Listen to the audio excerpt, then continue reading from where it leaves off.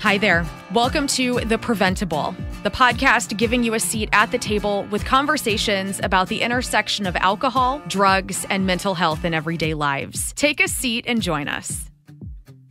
Welcome to The Preventable. With me today is an esteemed guest, the Assistant Special Agent in Charge at the DEA here in St. Louis, Mr. Colin Dickey. Welcome to The Preventable. Well, thank you for having me, Nicole. I really appreciate the chance to, and the opportunity to come on here and, and, talk to you about DEA and what we're doing with DEA and what we're trying to do to uh, target fentanyl drug distribution in our communities and um, target um, overdose related drug deaths too. So I want to get into what the DEA does, what it doesn't do, um, because I think there's a lot of um, sometimes like misunderstanding about what your charge is and isn't. And I also, though, before we get there, like I want to just learn a little bit about you. So, how long have you been in the DEA? Did you always want to do this? Was this is this kind of new for you, or were you like one of those kids that were like, "That's going to be me when I'm older"? I got into law enforcement. So I grew up in a town, a small town in southern Illinois, five thousand people. Uh, my dad was a fireman and ended up being a fire chief oh. for over 30 years with a local volunteer fire department. So I knew I always wanted to do something in public service. Mm-hmm. And uh, my dad wasn't afraid to run into burning buildings. That's not something I wanted to do. so I went the career path of law enforcement. Um, and I knew I wanted to do it at an early age. Uh, like I did a a book report on the FBI in seventh grade, and I did a speech. okay. I did a speech on it when I was in my sophomore year in college on the FBI and what it meant to me. Obviously, I ended up with the DEA, but it's still obviously in the federal law enforcement realm, and I couldn't be happier with the career decision that I made. Um, I I've been on with DEA for 18 years now. I, my career started in 2004. Um, after I graduated the, the DEA Academy in Quantico, Virginia, I my first assignment was in the Chicago Field Division. Hmm. I was there for 14 years. I did 10 years as a as an agent, working violent street gangs, um, Southwest border investigations, targeting um, criminal drug, drug networks wow. and Mexican uh, drug cartels. Mm-hmm. After that, I promoted uh, to a group supervisor level um, in 2014 to our financial investigations group, where I conducted um, money laundering investigations oh. throughout throughout the world, which was fascinating. It was something completely different than what I did okay, um, I need for to my have ten you years as an agent. To talk about cryptocurrency because I am so perplexed by it, yep. and I've I've gone down a few rabbit holes trying to figure it out. So maybe we'll have you back to talk about that. No, absolutely, and it's a whole nother thing, right? Because when I was an agent, a baby agent, cut my teeth, cryptocurrency didn't even exist. Yeah. So as we promote, as I promote through this agency new trafficking and trends oh, sure. and, and, methods that uh, drug traffickers and money laundering money launderers use comes up, and it's hard for me as a supervisor to get trained on that stuff. So I have to really yep. rely on my agent and supervisor personnel that I supervise in order to get up to speed on that. Mm. Um, but it, it's it's a huge thing, and I would love to be back to talk yeah. to you about that. So. I, I did my uh, did my time as a group supervisor um, of the financial investigations group from 2014 to 2018. After that, I was selected for a lateral position in our Bogota, Colombia country mm-hmm. office as a group supervisor, mm-hmm. um, working the best targets, some of the best targets that the, the world has to offer. Um, working large maritime shipments of, of cocaine coming Whoa. out of Colombia, being sent up to Central like America. Pablo Escobar stuff. Yeah, yeah. Caribbean. It was really fascinating work, um, and it's different. Obviously, you're speaking a, a foreign language, so that's uh, difficult enough. Yes. Uh, but you really rely on your relationships with foreign counterparts in that office. You're you're kind of a hybrid agent because you're more of an intelligence gatherer because we don't have some authorities that that we have up here. We don't have the ability to do that uh, because of laws and procedures in foreign countries. So we really have to rely on our counterparts to be the action element um, mm-hmm. for us in that environment. So I did that for a few years as a group supervisor, and then I took another lateral assignment with our Special Operations Division that's based out of Chantilly, Virginia, but I was still stationed down in Bogota, Colombia. Um, what I did there was I basically coordinated large scale investigations throughout the world. So maybe I supporting a case down in Bogota, Colombia that ties into Dallas, Texas, or St. Mm. Louis, Missouri, Mm-hmm. or Chicago, Illinois. Mm. There may be links to Australia or offices in Europe. I bring all those parties together to make sure everybody's up to speed with the overall criminal drug network that we are trying to investigate, not just specific targets, but the overall the network. overall network. And then um, I did that for almost two years. And then in 2021, uh, February 2021, I was selected for my current position as Assistant Special Agent in charge of the St. Louis Field Division, St. Louis Division Office.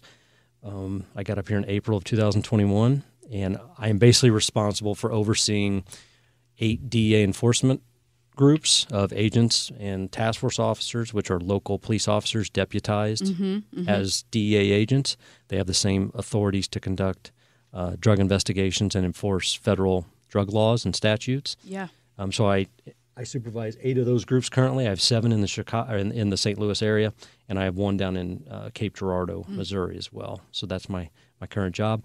I also am the commander of our um, uh, OCDETF strike force that sits out um, at a at another location here, um, where it's a mix of law enforcement agencies from from several federal, state, and local agencies. And I also oversee our special response team, which is basically the federal DA equivalent of a of a SWAT team. Wow. So So basically, tons of free time. yeah, all the time. Yeah, I. I need I need a few more titles and a few more duties. Right, exactly. You need you need a few more letters behind your name. So, I so you have, I think, really eloquently, like, kind of described your kind of path, and and uh, and you've touched on a lot of different things that the DEA does. Right. Right. And so when we sort of met before the podcast, so I could kind of you know take some notes and and think a little bit about questions I wanted to ask one of the things that I wrote down, and I know this is, you know, on the website, is that you all disrupt, dismantle, and destroy organizations. That is what you do, right? Correct. As I said at the beginning, there's a lot of, I think, questions about what it is that DEA's role is, what it's not, you know, but but that really is your charge, right? Right. Disrupting, dismantling, and destroying criminal organizations, Correct. And I- specifically that have a tie to to drugs. Correct. Right. Okay. Yep. And that's always what we look to do uh, in our investigations. That's what I've always looked to do. All the uh, spots I just talked about throughout my career, that's something we always do. Sometimes our cases start with five members of an organization that we have identified. Sometimes, depending on what intelligence we're operating off of, sometimes it's only one target. Then it's up to us as investigators to try to spread that investigation and take it as far as it can go so we can dismantle. And you said you use the same verbs I would say dismantle, destroy, disrupt. Um, you know, we use other terms in, in foreign offices like investigate, Okay. indict, extradite. Oh. But we're talking about the biggest targets, Uh-huh. whether it's foreign or domestic. It's our job, it's DEA's job to go after those criminal drug networks. And So you are not, I think, just to be pretty clear here, you're not go. The DEA's job is not to go after my cousin that sells some weed. no, Right. DEA is not charged with uh, investigating drug users. We're, we are targeting drug dealers, drug distributors, suppliers. lar- yeah, at the like you kind of want like the person who's selling his person's person the weed to sell. Exactly. Okay. And the the information that I give my supervisors to tell their agents what I want them to work on, how I want them to view their investigations is sometimes they'll start a case from a local impact. Let's say somewhere in the in a St. Louis Mm-hmm. area neighborhood. Start with that. Well, the next would be more of a regional approach. So that would be the St. Louis metro area, Yeah, or yeah. maybe touching into southern Illinois. Um, from there, it goes to a national perspective, where maybe you ID that a supplier is out in California or Texas. Mm-hmm. Then you're looking at let's like work with another DA and- office yes, right. and let's target those people with another DA office or another law enforcement agency.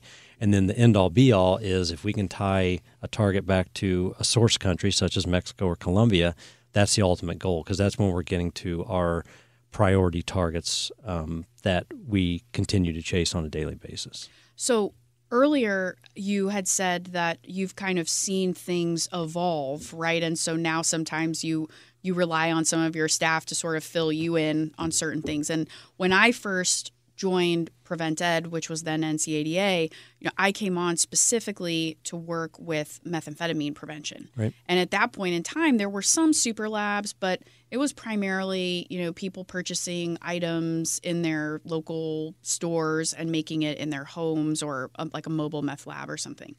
Well, yes, methamphetamine still is around and it's definitely morphed into super labs and and but but really, what we're paying a lot of attention to, what you're paying a lot of attention to, is fentanyl, right? Correct. And so I know that there's been some major successes that you all have had.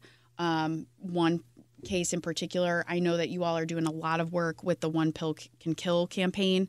So I'm wondering if we could just like talk briefly for those people listening who don't even really understand what fentanyl is and what makes the fentanyl you're looking to tackle different than what is maybe prescribed because somebody's in pain and you know so talk a little bit about that if you don't mind So when we talk about fentanyl, we're talking about illegal fentanyl, not Yes. not used for medicinal purposes for pain relief in a hospital setting.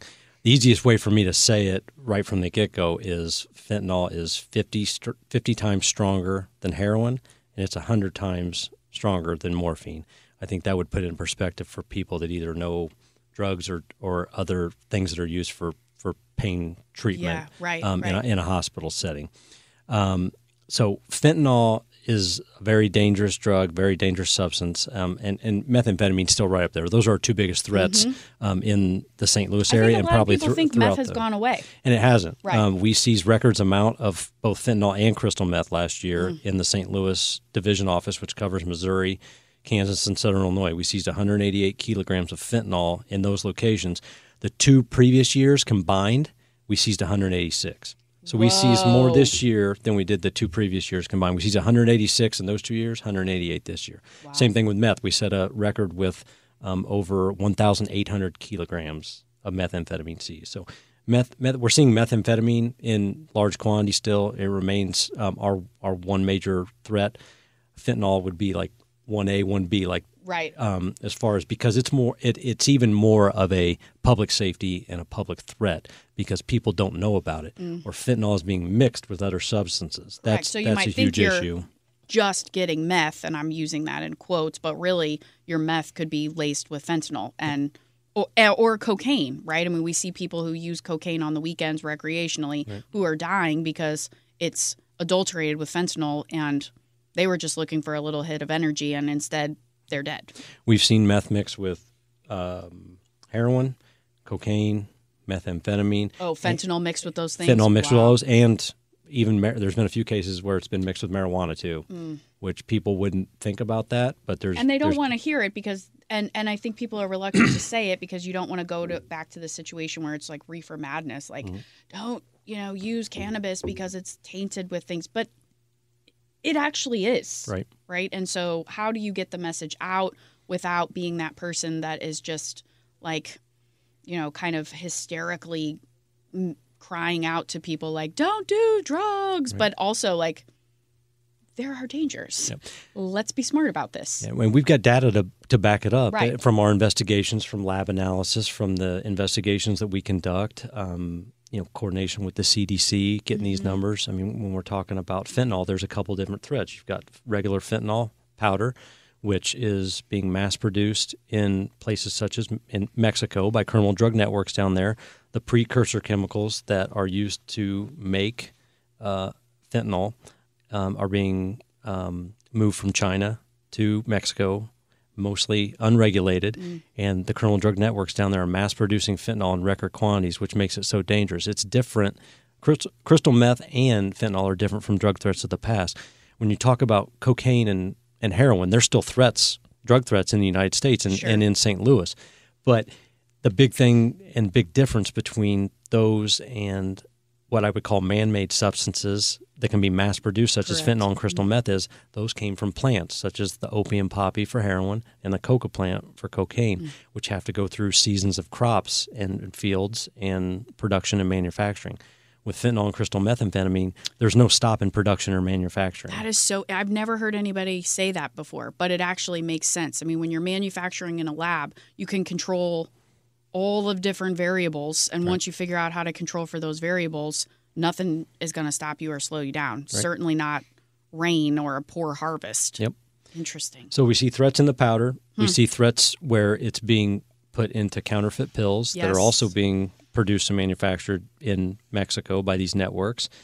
Um, and people think they're getting a legitimate prescription pill, but they're not. They're getting a pill that contain a lethal dose of fentanyl or a fatal dose, which is only two milligrams um, could, is considered a lethal dose, and that's a very small amount.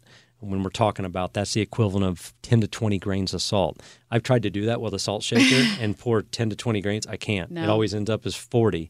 I'm like, well, that's enough to kill how many people? And so that's really why the DEA has come out with this one pill can kill, especially because there was a, a couple, uh, one in particular, like high profile death of a teenager who was looking to purchase a prescription pill using social media, correct? And um, did not get what they what they wanted, did not get what they thought, and instead got a pill that had been manufactured and contained fentanyl and killed this kid.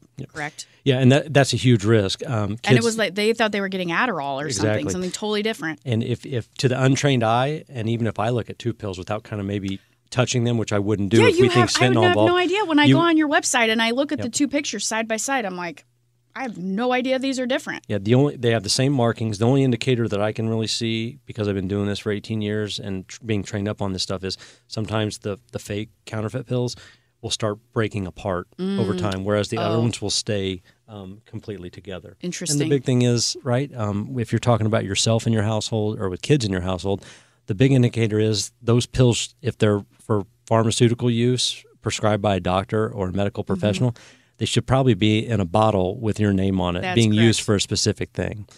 which is a great segue to the Take Back Right. program.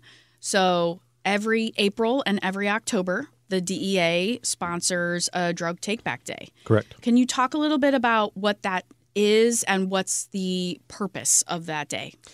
Those days, I should say. The drug, so the drug take back is a great event um, that's handled um, by offices throughout the country in coordination with state, local, and local law enforcement officers. We have drop sites where people can bring unused prescription medication. We're talking about you know prescription pills like Adderall, Percocet, oxycodone, hydrocodone, stuff that you would get after a getting your wisdom teeth pulled or a surgery, or if your your kid has a football injury in high Right. school those prescriptions run out. Sometimes they're not used. Instead of having those medicines stay in your cabinet, we host the take back twice a year where we have people um, anonymously bring pills to locations to drop sites in order to turn those pills in so nobody can potentially be affected by using a pill that they shouldn't be putting in their body. And that's really diversion, right? I mean, that's a huge part of what you all do. Another part, and this is the last thing that I really want to make sure that we get to, is that over the last several years, beginning really with the DEA 360 strategy, which was mentioned on our on a previous episode because one of our community coalitions that's really when they got into this game so to speak is because of the DEA 360 strategy where the DEA said look we want we need to remain focused on diversion.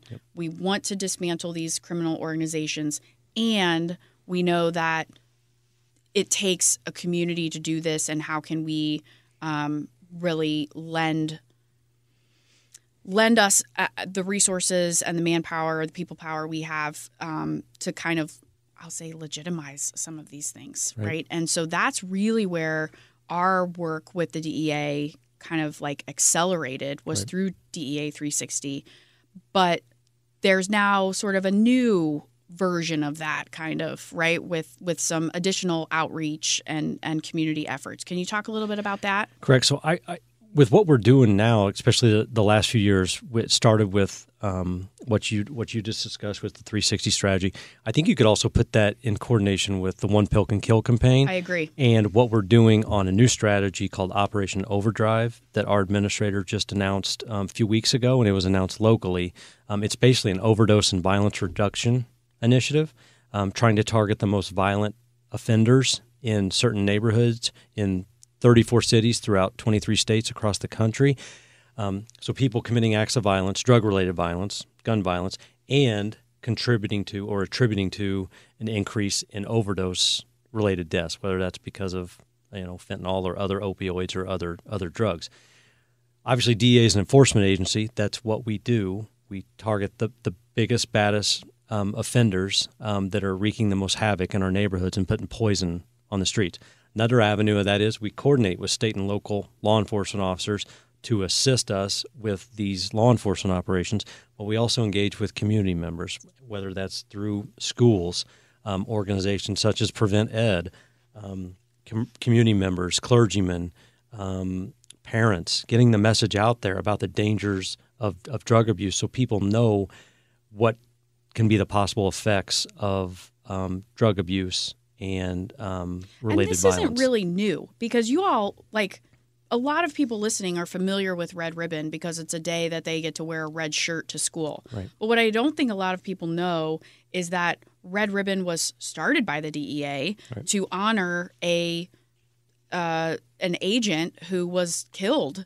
And so y'all realized that we need to do more earlier upstream and that maybe you're not always the ones to do it, but that you can partner and elevate voices of organizations like mine that we can reach kids as well. And so I think that it's I appreciate you coming here today to just talk a little bit about the things that you are currently doing um, to to get the drugs off the streets, but also the things that you have always done. right.